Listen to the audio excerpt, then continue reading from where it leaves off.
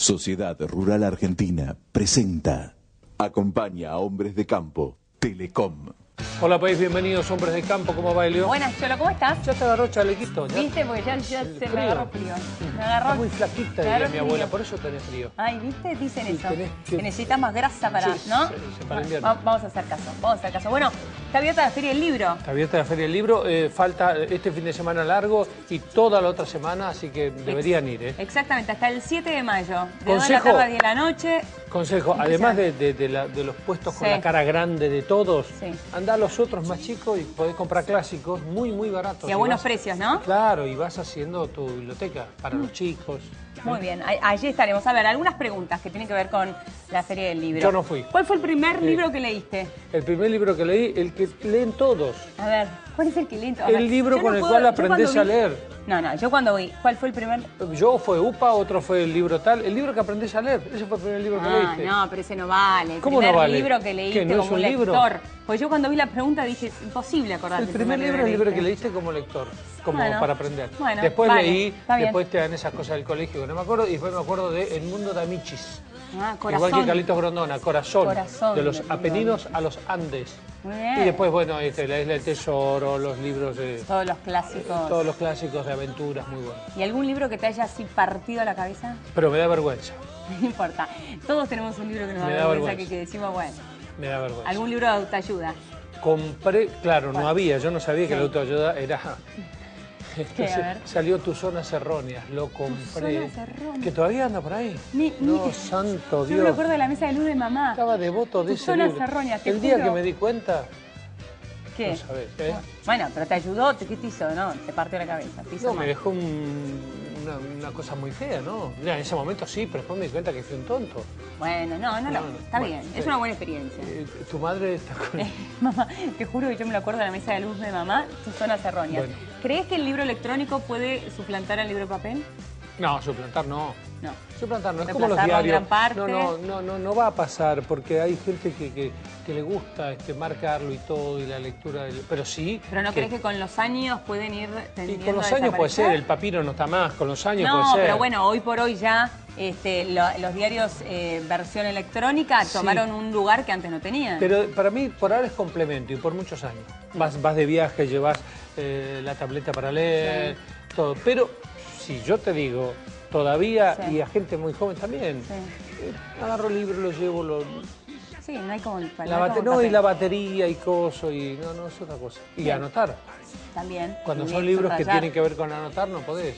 Sí, Pero bueno, eh, por ahora va a convivir por muchos años. Muy bien. ¿Y vos? ¿Empezamos? ¿Qué? Primer libro. Ah, el primer libro no, te dije, no me acuerdo el primer libro. Bueno. Este, el ¿Y el primer que libro aprendiste me- a leer? Sí. Bueno, el que aprendí a leer habrá sido mi primer libro. Después algún libro así que me haya marcado. El Principito es un libro que, que leo en distintas etapas de mi vida. He leído en distintas etapas de mi vida. ¿Viste que uno lo interpreta diferente? ¿Son esos libros que uno lo interpreta diferente? El Principito. No, Después, yo no lo entiendo. Mi planta de naranja lima. ¿Vos sabés que ¿Te acordás de mi planta de naranja lima? Sí. Qué triste Bueno. que era ese libro. ¿Cuál es eh, el, eh, el libro electrónico puede reemplazar al libro de papel? No, no, No. yo también creo Bueno, que no lo puede te reemplazar. recomiendo un libro. Sí. ¿Cuál? Está un poquito frío el tema. Como agua para chocolate, léelo de nuevo. Bueno, yo lo he leído como agua para vos chocolate. léelo, ¿eh? vos léelo. ¿Lo ¿Sabes por qué? vuelvo a leer? Cho- como agua para chocolate es muy caliente, Sí, por eso. bueno. Bueno, pone- te va a lo voy poner a volver a este leer. Dale. Vamos, hombre de campo. ¿Cuáles pueden ser las consecuencias de la expropiación de IPF y de las restricciones a las importaciones? Nos visita el economista Aldo Abraham. Los impuestazos inmobiliarios y las trabas a la venta de cereales son dos temas que hoy preocupan a los productores. Estará con nosotros Ricardo Burjaile, diputado de la UCR por Formosa. Acaba de ganar el premio a la emprendedora social del año. Nos visita Marcela Benítez, fundadora de Responde, que promueve la recuperación de pueblos en riesgo de desaparición. Estuvimos en Nuestros Perros 2012 en La Rural, una atracción para toda la familia. Los criadores nos cuentan las cualidades de las diferentes razas.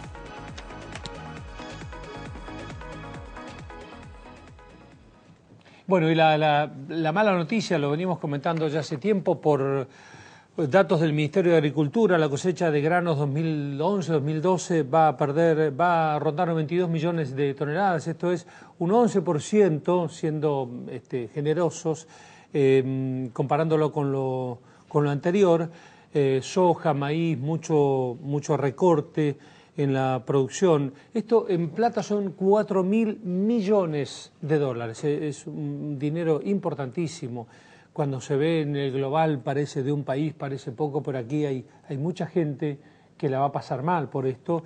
Em, la soja baja de 49 millones a 43 millones. Así que bueno, era la mala noticia, lo hemos hablado ya la semana pasada, la sequía. Eres soberbio y fuerte ejemplar de tu raza, y domando caballos o asesinando tigres Eres un Alejandro, Nabucodonosor. Si aclamáis, se oye como el rugir del león. Tarjeta Galicia Rural es la tarjeta que su campo necesita, porque le ofrece los mejores acuerdos de financiación al 0% de interés y vencimientos en función de su ciclo productivo.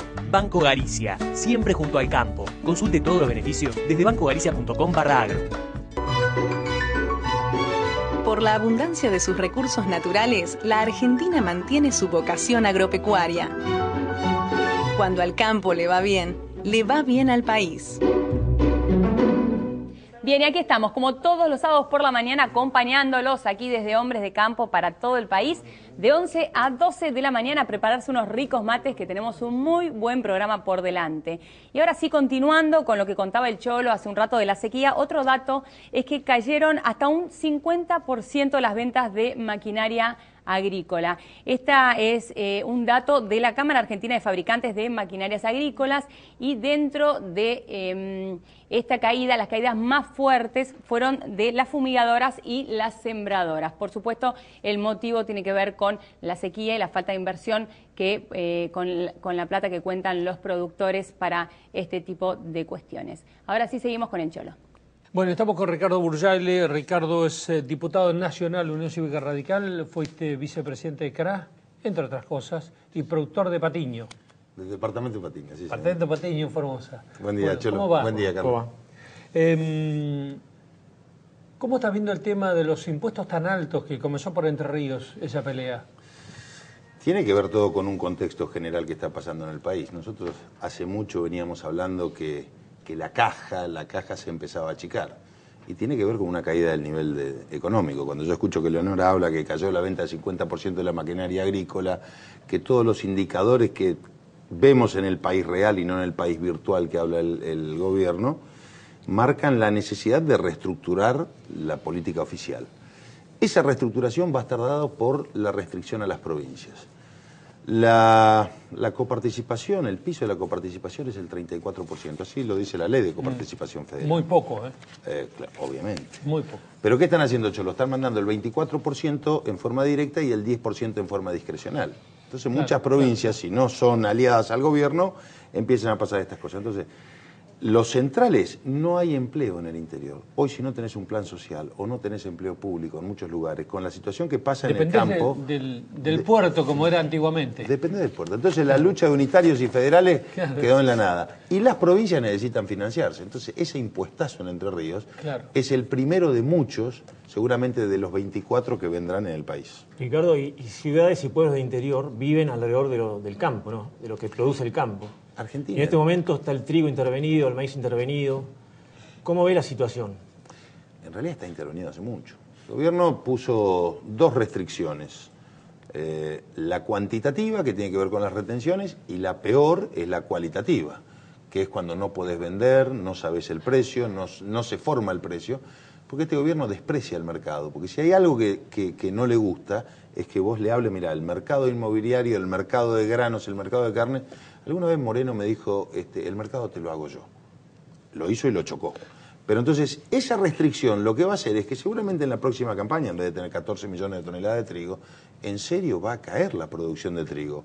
Nunca va a faltar, como dice la Presidente, porque hay zonas que son zafreras y... Y porque con el 30% de lo que producíamos ya, ya, ya 6 millones. 6 millones de toneladas alcanza para el Pero tuvimos más de 15. Pero bueno, pero nosotros, si hoy el mundo demanda alimentos y los términos de intercambio hacen que sea más negocio vender alimentos que, que- que automotores, este, obviamente tenemos que hacerlo. Mira, te voy a dar un solo dato. La otra vez hablaba de cómo cambió de la década del 70 esta parte los términos de intercambio. Habrán leído Raúl Previch en aquella época. En aquella época, en los 70, vos para comprar un Mercedes-Benz, y todo Mercedes-Benz, porque, porque es un auto que más o menos perdura, no porque lo tengamos nosotros, eh, costaba alrededor de eh, 900 toneladas de soja. Hoy te cuesta 230 toneladas de soja. Te costaba 100 toneladas de carne de exportación, hoy te cuesta 38. ¿Qué quiere decir esto? Que los términos de intercambio han cambiado para los países que producen alimentos. Y es una oportunidad para esos países. Y es una oportunidad enorme. Si vos pensás que el mundo tiene 800 millones de, de hectáreas cultivables y que exponencialmente crece al 1% anual, estamos en 6 mil millones de habitantes, este, hacia el año 2050 vamos a ser 9 mil, con la misma superficie. Entonces, incorporamos tecnología, incorporamos reglas lógicas de preservación y Argentina tiene un futuro enorme en esto. ¿Y por qué crees, bueno, eh, para terminar este tema, por qué crees entonces que no se hace? Si eso sería bueno para el gobierno también. Porque este es un gobierno nacional y populista. Y porque es populista. Pero si es más retención, si en Patiño producen más, es más retención. Eh, lo que pasa es que nadie produce más porque tampoco es negocio. Porque si bien hoy la soja está a 540 dólares, 25 dólares más caro que cuando pusieron la 125, digo, ¿no la pondrán otra vez? Nos animan. Eh, nos animan.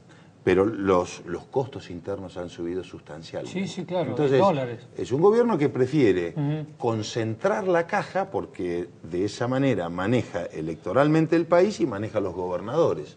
Y poco le importa. Con el consumo interno y que vos produzcas mucha soja, porque la producción de soja ha crecido sustancialmente y solamente el 5 es para consumo interno, le alcanza. Poco le importa el trigo, poco le importa el maíz. Eh, habl- hablaste recién de Moreno y de, de- de forzar el mercado. ¿Qué pasa con la hierba?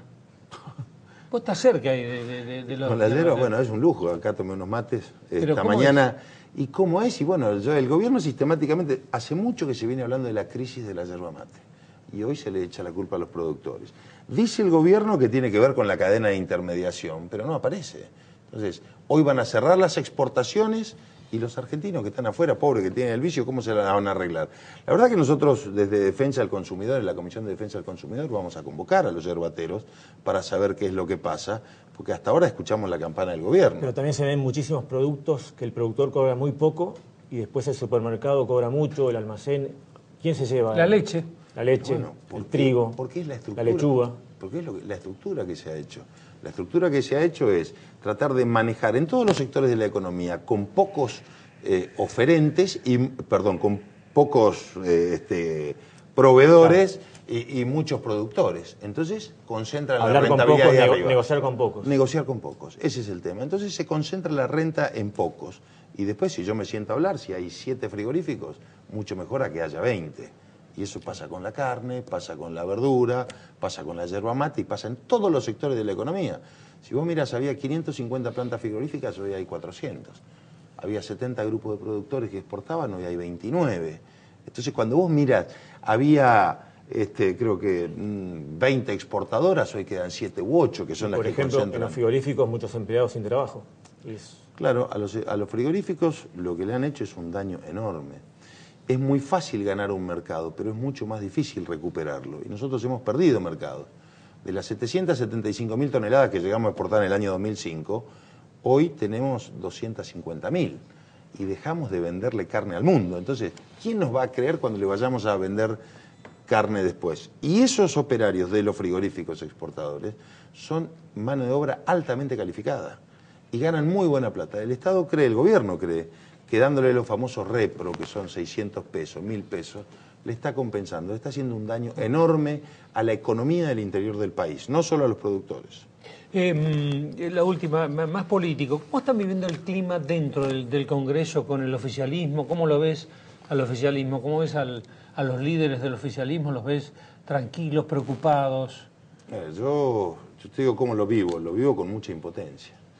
Con mucha impotencia un Congreso que no se debate, un, No, no congreso, se- que, un Congreso que los proyectos de ley entran y se despachan. Digo, los escribanos leen, lo- los almaceneros despachan. Bueno, nosotros estamos despachando leyes. Me parece una falta de respeto a la sociedad. No se debate seriamente. El Congreso no se está haciendo respetar como un poder Y, del y en, Estado. y en diputados, eh, en senadores menos, supongo, ¿no? Puede estar más cómodos. Eh, O en diputados más o menos. En diputados se debate, pero hay una mayoría automática del oficialismo.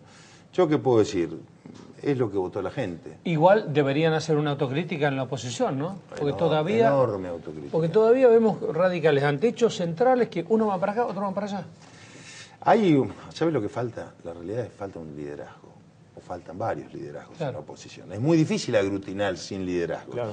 ¿Alguien cree que todo el oficialismo piensa igual? No, no piensa todo igual. Pero, pero, pero, Pero votan, se encolumna. se encolumnan atrás.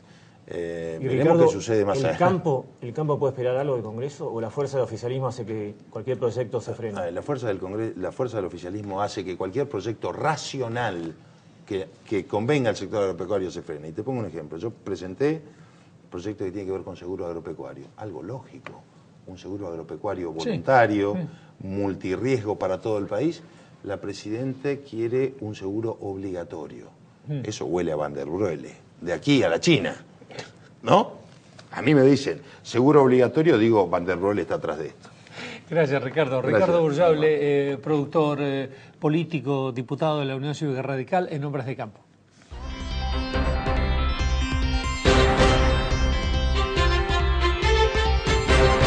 La Argentina está a la vanguardia en la innovación productiva y en la fabricación de maquinaria. El campo es tecnología de avanzada.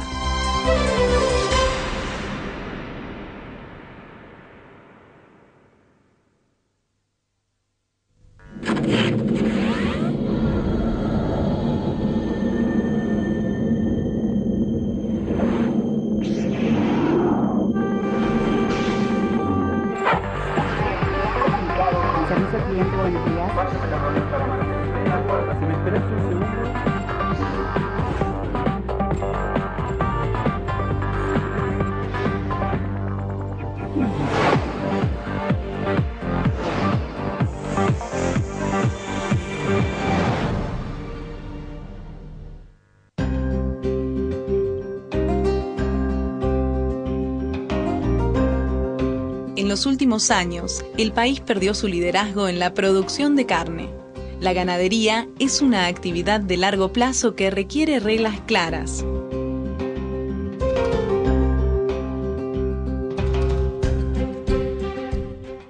El campo y toda la cadena agroindustrial es sin duda la mejor esperanza para que Argentina se inserte exitosamente en el mundo del siglo XXI, aprovechando la riqueza natural, el talento de sus productores, pero también por el ritmo de cambio científico y tecnológico en la producción aplicada a toda la cadena agroindustrial. Esa es nuestra gran oportunidad. Desconocerlo es evitar aprovechar las mejores oportunidades de nuestra patria. Bien, y aquí estamos con Marcela Benítez, fundadora y directora ejecutiva de Responde. Es doctora en Sociología y licenciada en Geografía. ¿Cómo estás, Marcela? ¿Cómo estás? Muy bien. Primero, antes que nada, felicitaciones por el premio que te acaban de otorgar gracias. la consultora Ernest Añanga, la emprendedora social del año. Sí, muchísimas gracias. Sí, la verdad que fue una, un reconocimiento para el trabajo de todo un equipo, ¿no? Tal vez a veces uno es un poco la cara Claro. o la impulsora, pero ninguna cosa sucedería en Responde ni en los pueblos si no hubiera un montón de gente profesional comprometida con el día a día y con la transformación de esas realidades que, que tanto nos golpean. Marcela, para aquellos que no conocen qué es Responde, Sí. contanos cómo nace y y cómo trabajan. Bueno, Responde eh, es una ONG de promoción y desarrollo que fundé hace 12 años. Yo antes era investigadora científica y, y recorría los pueblos rurales y veía cuánto potencial había y cuánto olvido y aislamiento, ¿no? Y eso me hizo pasar a la acción. Y bueno, los primeros 10 años eh, tratamos de buscar la manera de, de activar esos pueblos. Lo hacemos a través de cuatro programas este, relacionados con el turismo, la producción, la enseñanza de Con oficios, la visita a los pueblos, ¿a vos sola se, te ocurrió esto? Sí. En realidad, eh, un, un gran dolor, ¿no? Porque Claro. eh, y visitabas pueblos y te decían, señora, hace dos años que no viene el médico, ¿será que no va a venir más? Esas historias cuando se te repiten, vos decís, Dios mío, la gente, los pueblos pueden eh, achicarse y hasta desaparecer, pero esta gente eh, ha quedado en situación de olvido, de abandono total. Totalmente desprotegido. Y, también la, contracara de esto, ¿no? Porque el pueblo puede desaparecer, pero la gente no se evapora, se muda y los problemas empiezan a estar en las ciudades. Eh, y, un dato que es importante para tener en cuenta, Argentina es un, país de pueblos rurales. El 70% de los núcleos habitados del país son pueblos de menos de 2.000 habitantes y el casi el 40% de la población, según datos de 2010, vive en el 0,14% del territorio. O sea, estamos todos acá apretados. Claro, estamos todos juntitos acá. ¿Cuáles crees que son las principales causas por las que la gente se va de los pueblos y los los pueblos tienden a desaparecer, ¿no? Porque no hay políticas de, desarrollo. En los pueblos hay recursos económicos, hay recursos humanos, hay potencial, este, hay atractivos, hay cultura y la gente no, no advierte cómo desarrollar esto, eh, están totalmente dejados de la mano de Dios y entonces se van, se van porque el pueblo se achica. Eh, pierden sus medios de transporte, los caminos. Entonces, la falta de inversión en infraestructura, básicamente de caminos y de educación, es lo que hace que la gente se vaya yendo porque no encuentra un futuro mejor. Pero nosotros sí creemos trabajan para que eso no pase. ¿Cómo se puede evitar? ¿Cómo se, qué, ¿En qué puntualmente trabajan ustedes para que la gente decida quedarse en el pueblo donde está? Mira, en primer lugar, este, nosotros hemos demostrado que no hace falta tanta inversión para que la situación de un pueblo cambie. Eh, es acompañarlos en, sus capacidades y en ese y, en, que adviertan ese potencial que tienen para que empiecen a ofrecer servicios en general vinculados a sus productos, al turismo eh, y, a la cultura. Los pueblos son este, por sí centros de, atracción de, lo que hay alrededor. Entonces, el que ellos puedan otra vez revalorizarse y si saben cómo hacerlo, eso permite que encuentren pequeñas fuentes de trabajo, que generen pequeños emprendimientos y, es suficiente, con esto es suficiente. Lo que pasa que eh, nosotros creemos que hay como un país invisible y las provincias podrían salir adelante si, si pudieran. Yo escuchaba lo que decía recién el, diputado. Boyaile, sí. Sí, Y decía, bueno, es cierto, las provincias están necesitando cómo financiarse, pero no saben qué es lo que pasa en sus pueblos. Si ellos realmente apuntalaran a los pueblos y a los recursos que hoy existen, hay muchas cosas que se empezarían a solucionar. Contanos algún ejemplo de algún pueblo recuperado en el que vos hayas visto con, con la Fundación Responde, ¿no? Eh, se me ocurre Rápido, un pueblo de Santa Fe que está sobre la Ruta 1, se llama Saladero Cabal, era un pueblo de 800 habitantes con un montón de potencial y estaba como dormido, aislado. Eh, el pueblo hoy tiene un centro cultural, ha empezado a desarrollar turismo, eh, pueden visitarlo y es un pueblo donde va llegando y empieza a ver carteles que dice cabaña, alojamiento, pesca. O sea, eh, muchas veces es poner la mirada sobre la gente para que recupere esa confianza y para que haga ese clic y acompañarla en este desarrollo. Y que empiece esa rueda, ¿no? A girar de nuevo. Totalmente, totalmente, porque entonces ellos se dan cuenta que allí se pueden quedar, que no hace falta migrar y, y que hay un futuro posible, porque eh, está bueno irse si, si lo tenés como inquietud, no por sentirte echado de tu lugar, ¿no? Y entonces este, las cosas, la verdad que empiezan a cambiar positivamente. Bien, Marcela, muchísimas gracias por habernos visitado. Muchísimas ¿Alguna página? Sí, gracias. Es www.responde.org.ar. Eh, quisiéramos que este programa, que se ve en tantos lados, sirva para que los pueblos sepan que se pueden presentar a nuestra organización eh, y también a las empresas que quieran hacer responsabilidad social y atender a un problema tan importante que nos compete a todos los argentinos que también se contacten con nosotros. Bien, buenísimo. Muchísimas gracias. Muchas gracias a ustedes. Marcela Benítez de eh, Responde estuvo aquí en Hombres de Campo.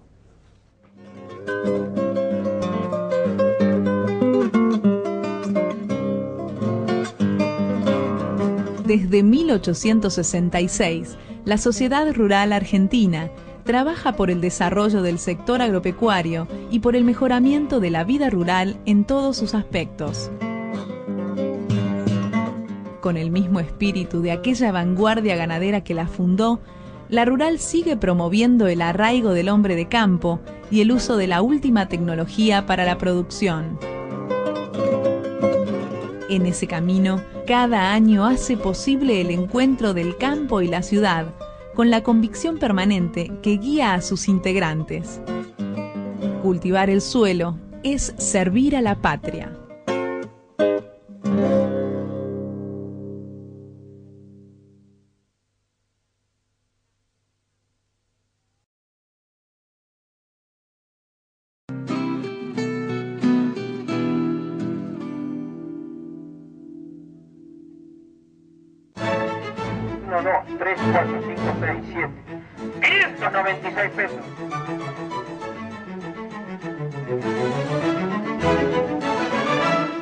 En remate feria, mercados de concentración y ventas directas.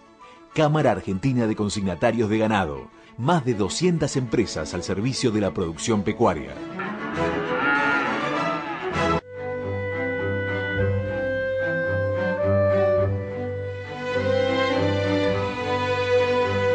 Las estancias reciben a miles de visitantes que disfrutan la vida rural.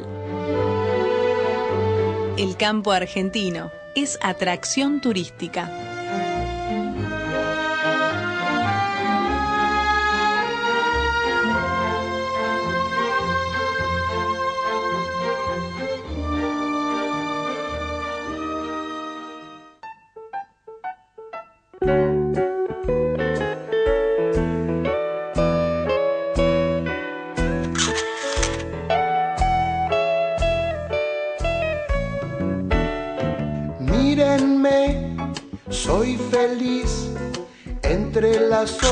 Que cantan.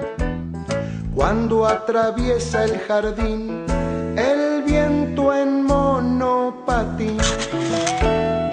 Cuando voy a dormir, cierro los ojos y sueño con el olor de un país florecido para mí. Yo no soy un bailarín porque me gusta quedarme quieto en la tierra y sentir que mis pies. Bueno, aquí estamos con Nelio viendo las lindísimas fotos. Que nos llegan a info arroba hombresdecampo.tv, como también los mails, así que mándennos fotos y después la ven aquí el sábado que viene en el programa. Vamos a dedicar el programa del día de hoy a la gente de Jacinto Arauz, en provincia de La Pampa. Claro. Allí, al oeste de la provincia de La Pampa, fue fundada en 1889. Mira vos, ¿eh? así que a la gente de Jacinto Arauz le dedicamos el programa del, del día de hoy. Ese mate que se está tomando Vine el cholo. con, vine con custodio. Por, tengo yerba, por la claro. yerba, está muy bien. está muy bien. Bueno, a ver, ¿qué gran médico argentino dio sus primeros pasos aquí en Jacinto Arauz? Allí en Jacinto Arauz. El de la mano de Dios. Allí, claro que sí. No, ¿no era Maradona? No, Ah, gran era- médico argentino. Bueno, y- ah, él de la mano de Dios, Había un perdóname, médico no. llamaba Maradona que hizo un chiste. No, no. No, eh, entonces fue el del Pampeano Favaloro. Favaloro, exactamente. René Favaloro nació en La Plata, estudió en la Universidad de La Plata y allí se fue a dar sus primeros pasos que estuvo médico durante rural, claro. 12 años Claro. siendo médico rural de allí de ¿Y Jacinto dónde era Arauz. el médico Maradona? Bueno, no me voy a acordar. Bueno, lo ten- para el sábado que viene te lo Bueno, tengo. dale. Me da- dame toda una no me digas cómo se llaman los de Jacinto Arauz. Claro, ¿cómo se llaman los de Jacinto No, Arauz? no, sí. ¿Cómo se llaman los No, no, habitantes y- de Jacinto Arauz? imposible. Es fácil, es facilísimo. No, pero imposible. Y, pero te, tira, tírate un paso. dale, decime uno. La guachiturra. Bien, guachi. tírate un qué, tírate un paso, dale. A ver. Eh, araucano. no, araucenses. Mm, eh, No, no, no. no Araucenses. suena- pero no suena bien. Por Bueno, eso lo digo. No sé si suena bien o suena mal. Así se Yo lo soy de llama. Puerto Deseado. Araucense. Imagínate, deseadense nos dicen. Es raro. Bueno, a los, todos los araucenses desde Mm, aquí les bueno, mandamos un beso sí, grande sí. y dedicamos el programa del día de hoy. Dale. Vamos a leer un mail. A ver, hola amigos, veo siempre hombres de campo, hermoso programa, excelente conducción. Perlitas Rurales, el micro sobre turismo rural de LU9 Radio Mar del Plata, los saluda afectuosamente. Muy Mira, bien. Ah, LU9 Radio Mar del Plata. Un televidente que le mandamos saludos, nos ve todos los sábados. ¿Quién? No lo puedes adivinar, aunque Pará, te primero vamos a decir Betina Sí. Cucagna de Mar Betina del Plata. Cucaña. Cucagna. Bueno, sí. te doy de acá hasta el 2014 para que adivines un conductor ¿Que nos de una ve? FM de 6 a 9 de la mañana en una FM importante que nos- todos los sábados nos mira. Vive en Es- Monte Grande. De seis Toca a la nueve. trompeta. Ay, no me Consumo. digas, me quiero morir. Roberto. Petinato. No, Gillespie. Gillespie, ¿no ves? Gillespie, Gillespie. Mandamos un beso enorme a Gillespie. Qué Gillespie, bueno que nos Sí, sí, me encontré el le digo, pero me está cargando. ¿Qué haces vos a esa hora? No, no, no, yo te Está veo, ta, despierto. este programa, el otro programa. Así que bueno, muy bien. Bueno, y también le mandamos un beso grande a Ricardo Ríos de Gualeguaychú, que también el otro día estacioné el auto en, en el garaje donde él trabaja y es de Gualeguaychú. Y me dijo, los veo todos los sábados. Así que Muy mandamos bien. un beso grande. A ver, vamos con los dichos. ¿Qué quiere decir? ¿De dónde, sa- ¿De dónde surge? Tarde piaste. Acá me pusieron tarde piaste, pero yo siempre dije tarde piaste golondrina. No, no Yo lo golondrina, decía no. así. Para mí ¿Usted un- no? eh, a mí me enseñaron con un pollito, pero bueno. ¿Tarde piaste pollito? No, tarde piaste, punto. Punto. No, ¿Quién pía? dije- En principio, el pollito. Bueno, pero yo siempre dije tarde piaste golondrina. ¿Nunca lo escuchaste? ¿De No, verdad? no, no. bueno, será de mis pagos entonces. Pero bueno. Bueno, ¿qué quiere decir? Eso lo decís cuando, lástima, ya te acordaste tarde, Y pasó tu lloraste turno. tarde, ya te Claro, quejaste tarde, ya ya fuiste. está, ya fuiste, ¿no? Perdiste, exactamente. Bueno, según dice mi libro, su origen es de un refrán campero que dice, tarde piaste, dijo un criollo, después de comer el huevo y acordándose del pollo. De ahí viene, de, ahí viene, de No, verdad. te da un poquito de pena. Así lo dice. Ah, no, ¿sabes la tristeza que me dio? Te juro, cuando lo leí, dije, pobre pollito. Vos eras la que se te muestra el cordero, no lo comés, ¿no? No, yo no lo como seguro, ya te lo digo. Ah, bueno, estás para invitarte. No, sí, no, no, a mí me, me- me da una tristeza, me, me da lástima. Yo el corderito me da lástima. Bueno. Yo no puedo entender que lo engorden, lo engorden, lo vean en la cara y se lo coman. ¿No? ¿Listo? Carlitos ¿Te tampoco. gustó? No, Carlitos es eh, total, nada que todo lo contrario a mí. Bueno, Bueno. de ahí viene tarde piaste Dale, entonces. está bueno. Bien. Bueno, ahora vamos a Nuestros Perros. Se llevó a cabo en la rural Nuestros Perros 2012 junto con nuestros caballos y allí estuvimos hablando con los criadores de las diferentes razas.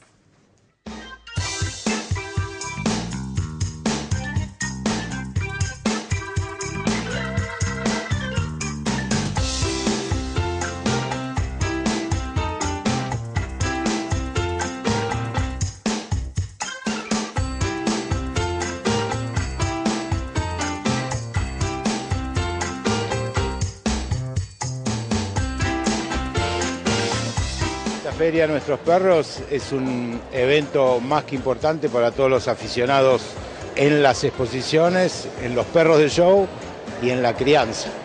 Es lo más grande que existe durante todo el año como fecha de exposiciones.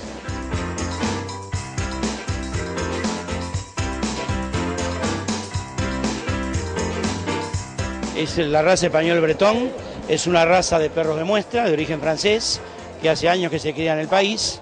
Es un perro dócil, nada agresivo y excelente perro de trabajo. Este perro es Brío de Nufón, es un gran campeón argentino y hoy obtuvo mejor de raza. ¿Ves? Es así. Sería acá. Y por acá sacas la correa.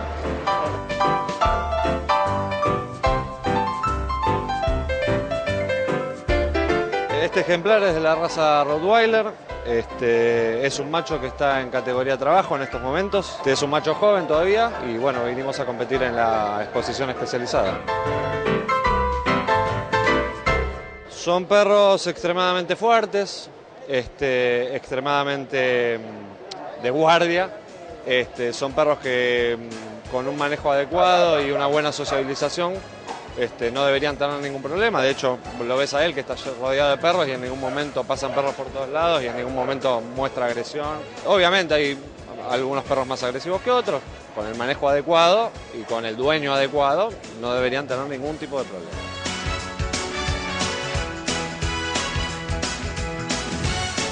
La raza Dorman es una de las razas que está representando a la Argentina en todo el mundo por su trabajo que tiene durante más de 40 años. Temperamento, personalidad, empuje, fuerza, un perro de trabajo que se adecua a cualquier medio, encantador con los chicos, con la gente grande. Como criadores estamos satisfechos de poder representar a esta raza. Esta es la raza Siberian Husky. Eh, su origen es eh, de Siberia. Lo empezaron a criar los esquimales, atando las perras en celo a los árboles para que las sirvan los lobos. Es un perro eh, muy familiar porque los esquimales lo tenían para que calienten a los chicos en los iglú, con un excelente balance, lo cual hace que tenga resistencia en la nieve, por eso son los perros que tiran los trineos durante muchísimo tiempo y la particularidad es el aullido. Aullame un poquito, aullame un poco. Bueno, es un galgo afgano, una hembra, campeona argentina ganó la especializada hoy, raza que en la actualidad se usa para guardia y para compañía.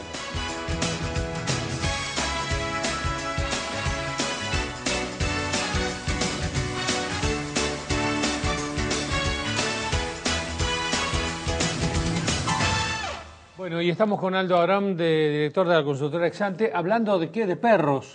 Está muy buena nota. Vos me decías que hay otras razas que tampoco ladran. Que ladran muy poco, ¿no? Este, como el Bull Mastiff, eh, el Presa Canario. Son Bueno. perros que ladran en casos extremos.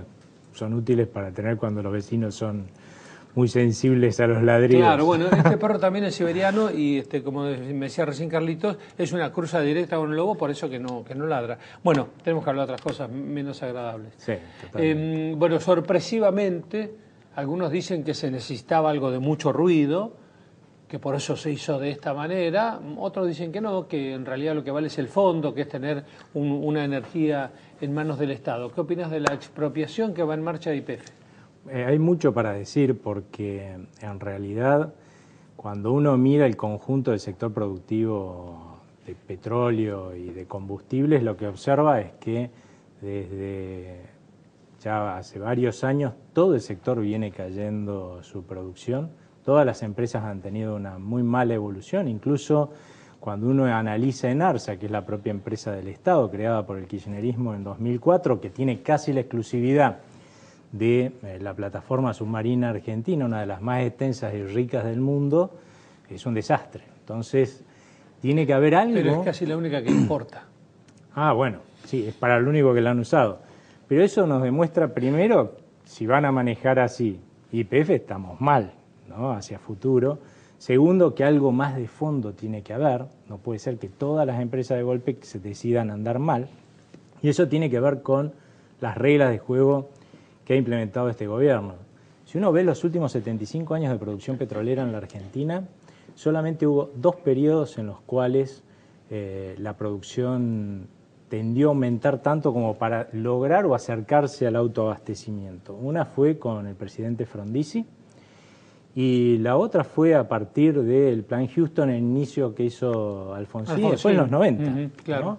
¿Y qué tuvieron de común esas dos etapas? Justamente que el Estado permitió que se fijaran reglas de juego y precios de mercado. Bueno, lo que dicen es si yo hago exploración acá y después el, producto lo vendo muy barato, si soy internacional prefiero hacerlo afuera donde lo vendo más caro. Digo, para decirlo en términos Sí, sí, sencillos, otra cosa. Hay gente que, por ejemplo, dice, bueno, ¿y ahora que, cómo van a conseguir un socio? ¿Sí?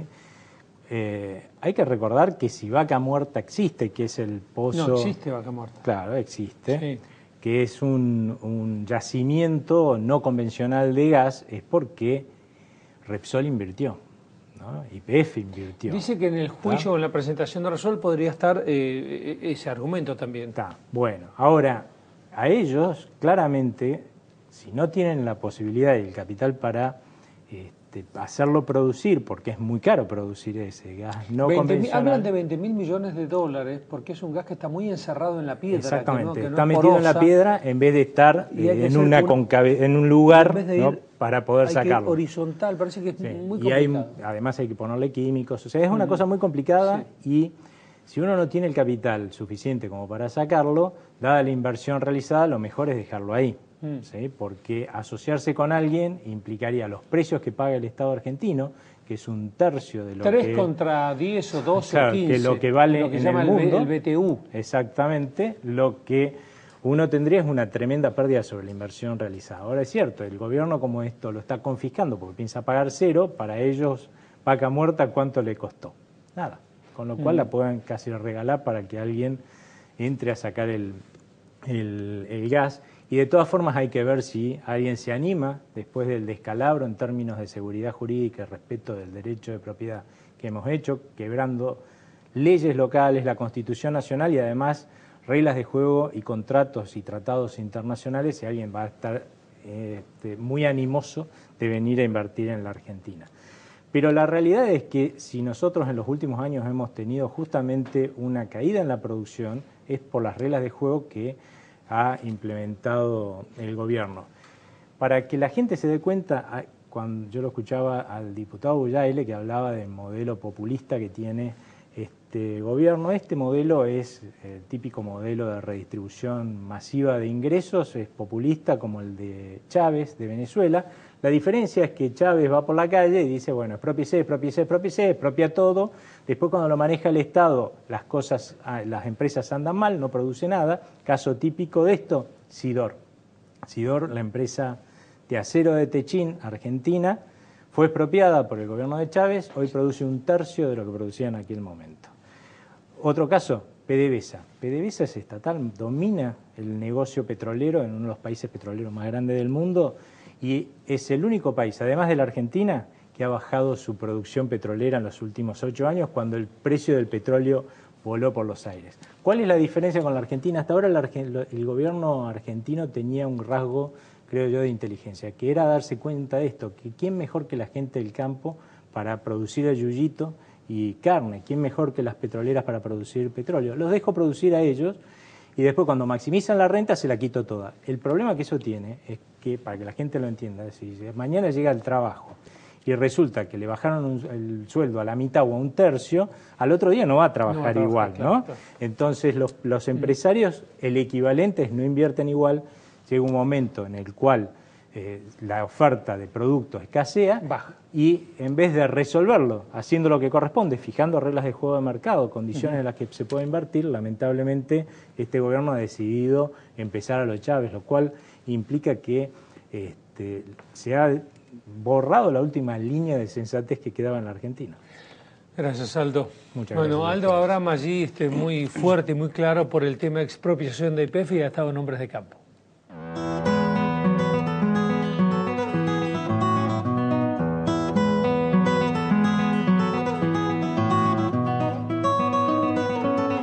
Los valores de la vida rural se mantienen en el tiempo.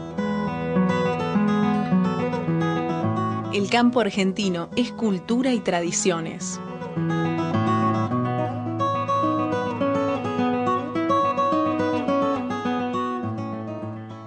Tarjeta Galicia Rural es la tarjeta que su campo necesita, porque le ofrece más de 7.000 comercios adheridos en todo el país, donde usted puede financiar insumos, bienes y servicios agropecuarios.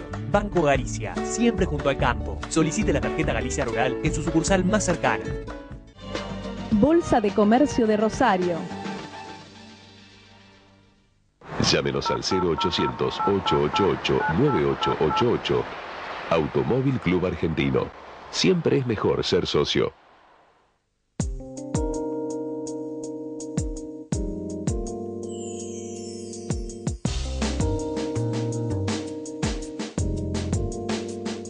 Es un cereal clave para la rotación de cultivos y para impulsar la rueda del campo durante el invierno. El trigo es pan y trabajo.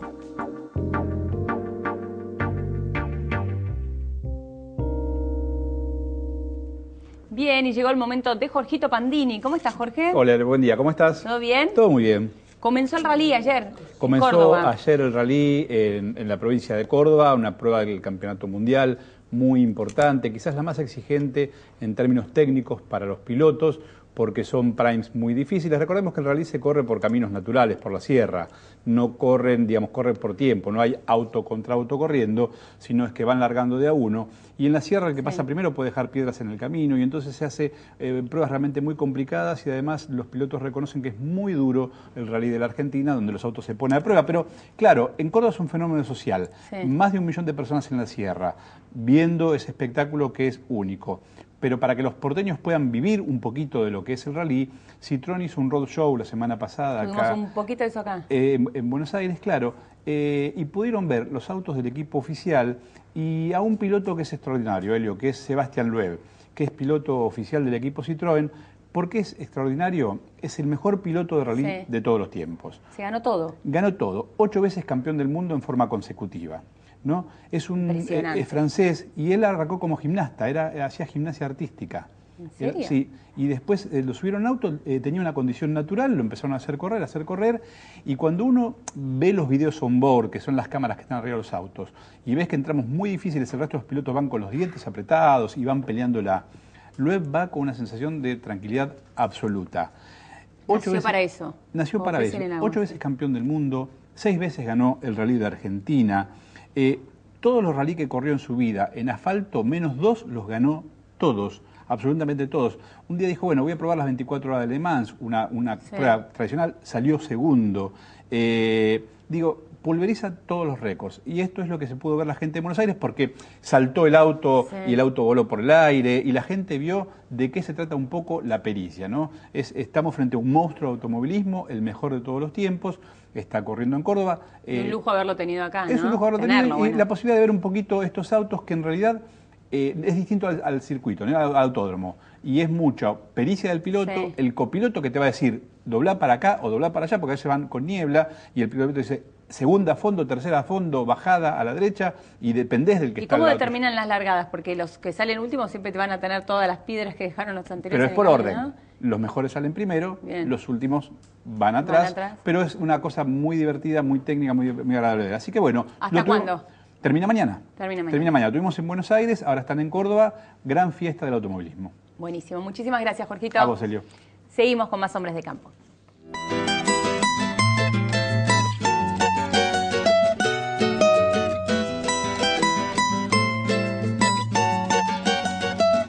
El agro genera el 56% de las exportaciones argentinas.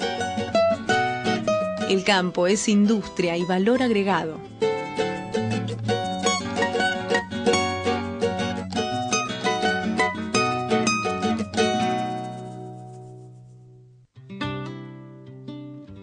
por cada banco que se ocupa,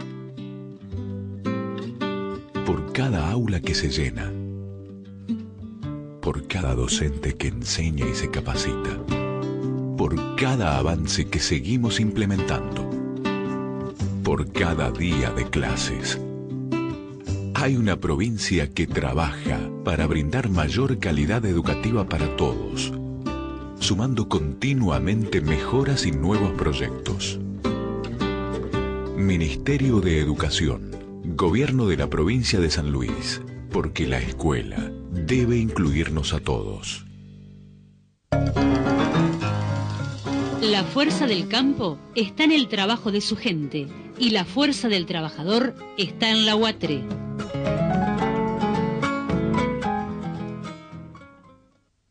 Somos muchos los argentinos que trabajamos en la cadena de carne vacuna. Por eso, con políticas a largo plazo, vamos a tener más carne. Instituto de Promoción de la Carne Vacuna Argentina.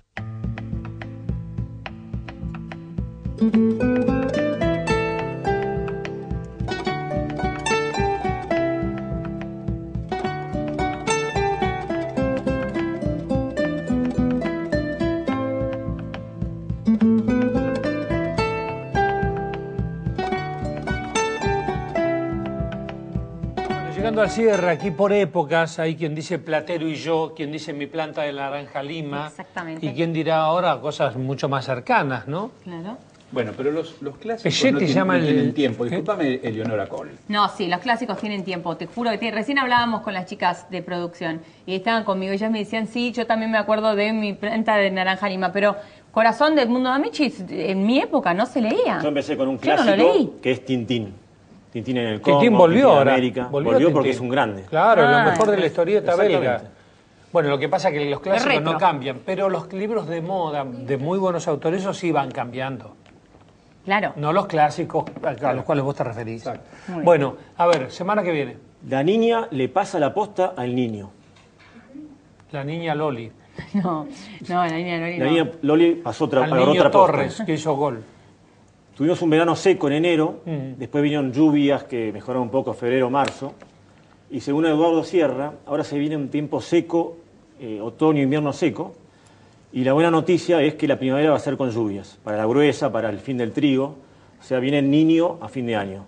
El niño es cuando el Océano Pacífico está más caliente, entonces hay humedad en el ambiente y llueve más. Bueno, el niño y la niña seca. Seca, es como que si vas al baño, prendés el agua fría Sí. y no pasa nada. Pues, este, Prendés el agua caliente y muy bien. muy Hay vapor, qué lindo, cae- Pero qué gráfico, ¿eh? Bueno, cae la humedad. Jorgito. Vamos a hablar la semana que viene cómo viene con el lanzamiento de las pickups. Se viene la Ranger, ¿eh?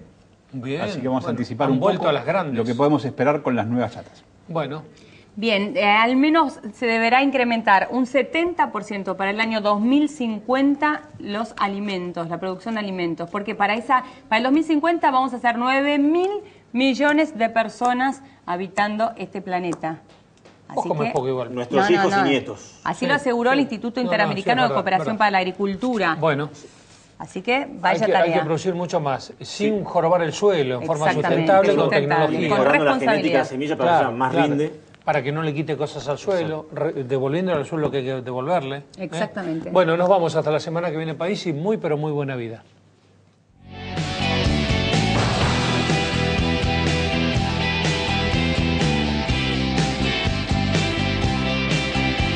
¿Cuál es aquel camino que tengo que tomar? Si solo hay un destino al que puedo llegar.